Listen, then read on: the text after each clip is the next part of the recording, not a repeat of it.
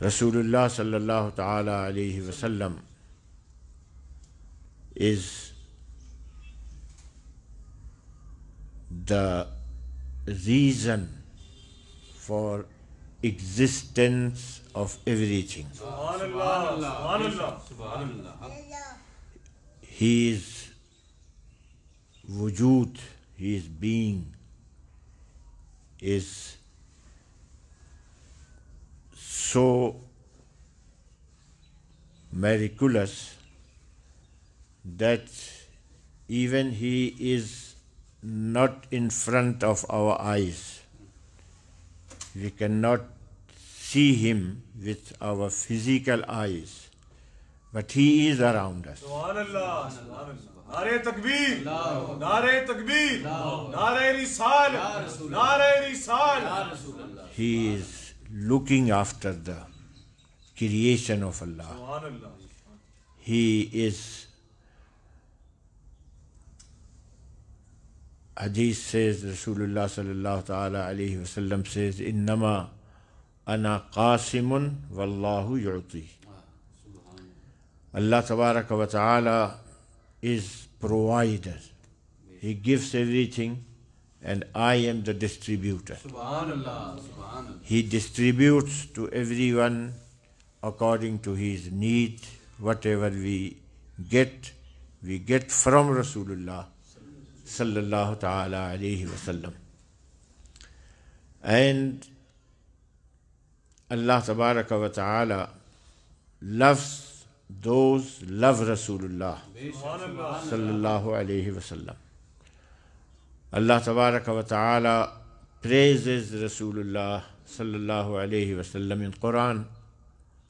There are verses in Quran in praise of Rasulullah sallallahu ta'ala alayhi wasallam. One of that is that Rasulullah sallallahu alayhi wasallam is the final messenger, Khatamun Nabiyyin.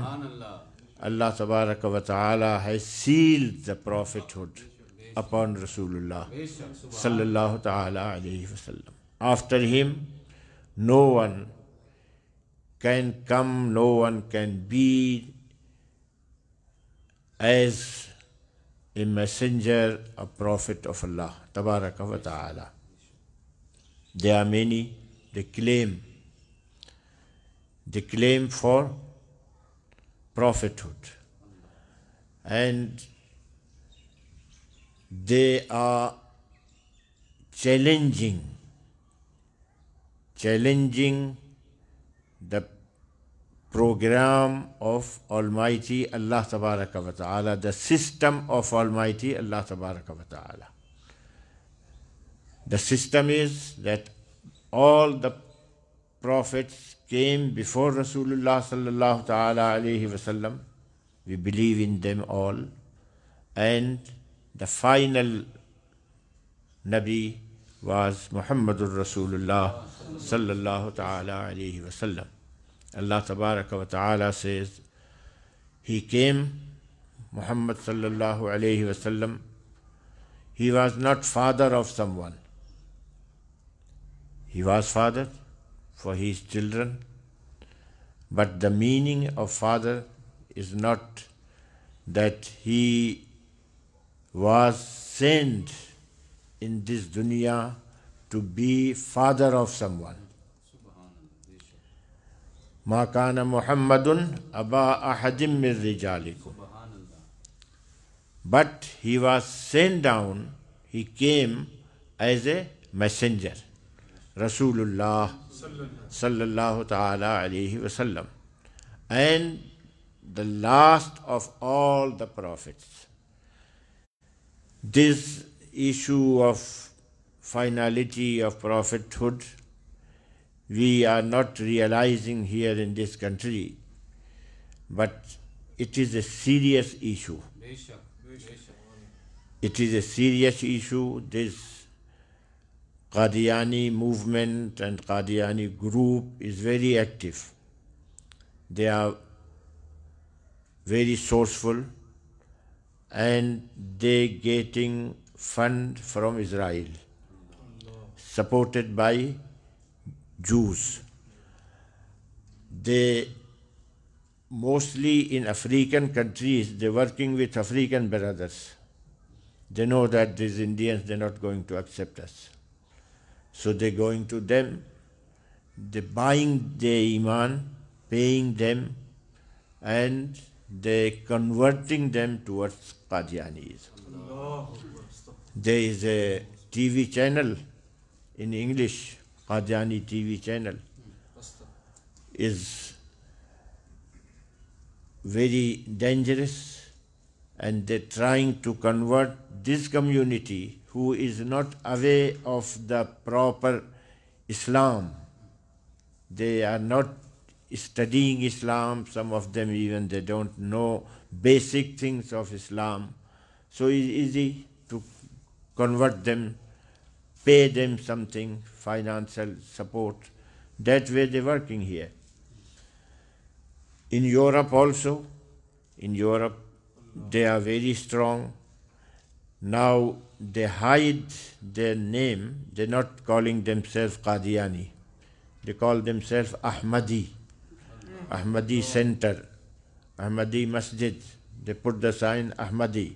So people think it's some political organization or some Muslim organization. It's not a new sect. It is a very old sect and very well established sect. Our ulama, they, that time, Bhutto government, at the time of Bhutto government, Hazrat Maulana Shah Ahmad Noorani Siddiqui was, he was MP and uh, opposition leader. He worked hard and forced the government to declare them as a non-Muslim. Qadiani sect was declared by our Sunni ulama and Sunni community of Pakistan as a non-Muslim.